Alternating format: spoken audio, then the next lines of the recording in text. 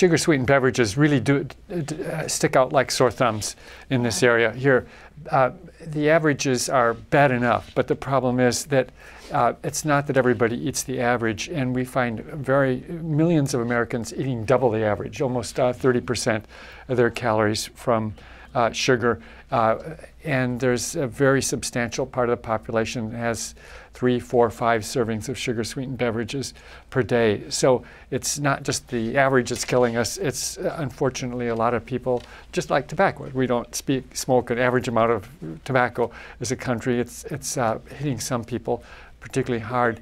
Often, unfortunately, in people with the lowest income, lowest education, lowest resources uh, that the, the uh, soda industry really preys on these people, unfortunately, and there's a terrible amount of suffering and premature death that uh, comes because of that. So many, many things contribute to obesity, but uh, overwhelmingly the, the big factor uh, is soda.